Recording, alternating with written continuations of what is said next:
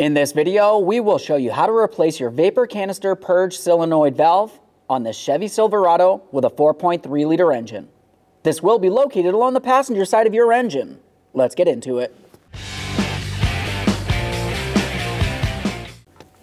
Okay friend, let's get started on our job. The first thing you want to do is make sure your engine's cool to the touch because we're going to work right along the top of it. Along the passenger side of your engine, you're going to find the vapor canister purge solenoid valve. This has a connector along the top that you're going to have to take hold of the locking tab, gently pull it away, and lift the connector up and off. A quick inspection for corrosion and set that aside.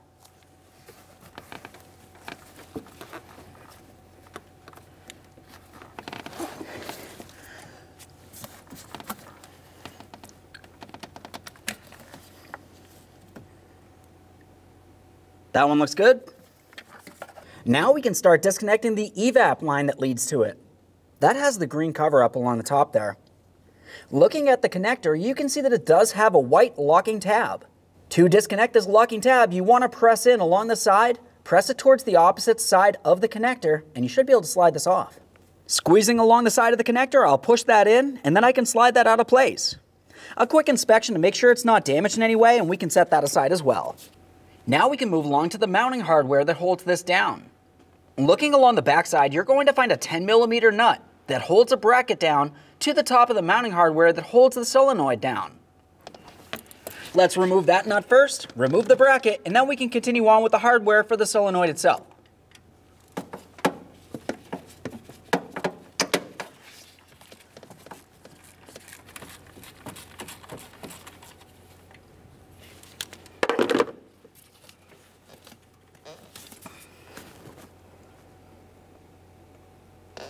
With that mounting nut removed, take hold of the bracket, lift it up and off of there. Then we'll be continuing on with our 10 millimeter.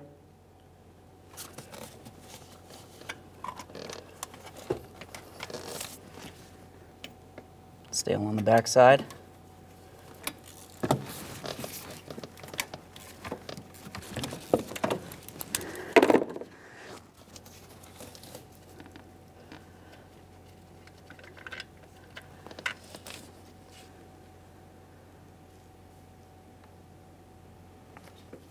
Get this last one out of here.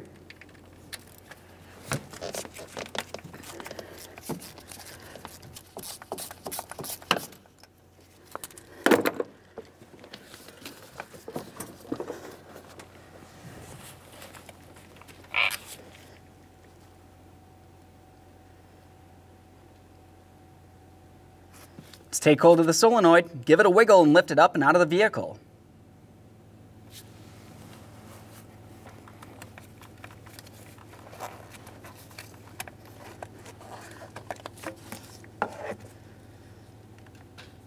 There it is, friend. With that out of place, the next thing that you need to do is clean and inspect the mounting point, especially the center port there, where the sensing agent goes down and through. Be careful not to drop any debris inside the engine.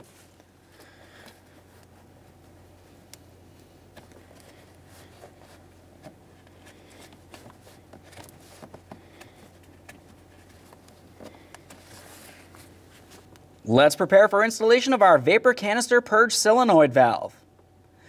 Looking along the bottom of this where the O-ring is, you'll find that I lubricated it with a thin amount of clean motor oil. That'll help it slide into place. Go ahead and take this and slide it down onto the engine, aligning your two mounting bolt holes, then you can start in each of those two pieces of mounting hardware.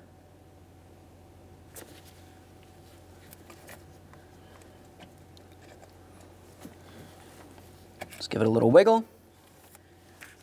Double check to make sure it's completely seated up against the engine. We'll start in the mounting hardware by hand, snug it up, and then you can torque that to 106 inch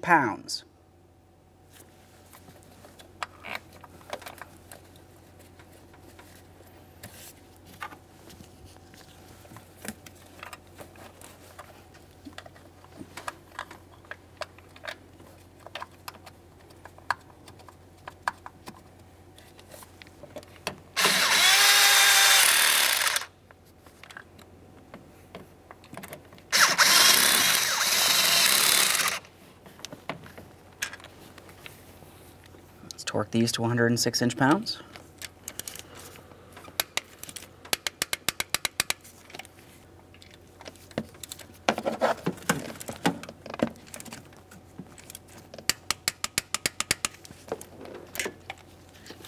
Let's continue on to the bracket. We'll get that in place. Start on the mounting nut, snug it up, and you can torque that to 106 inch-pounds as well.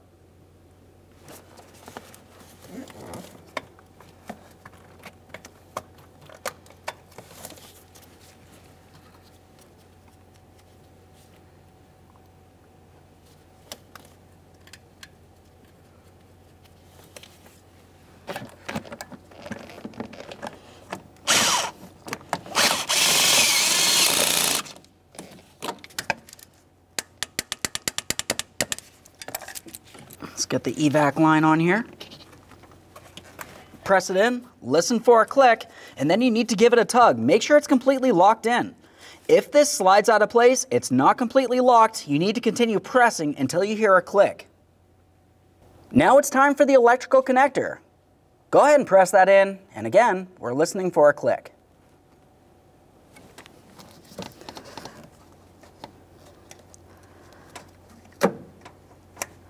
Got a nice audible click from that. We'll give it a tug to make sure it's completely secure. Okay friend, we finished our installation. At this point, hop in the passenger compartment.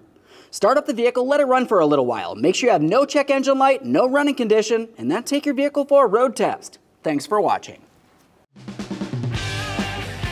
When only the best will do, demand TRQ. The only company that lets you view before you do. TRQ is committed to offering the highest quality aftermarket auto parts that are engineered for peace of mind. Thanks for using and viewing with TRQ.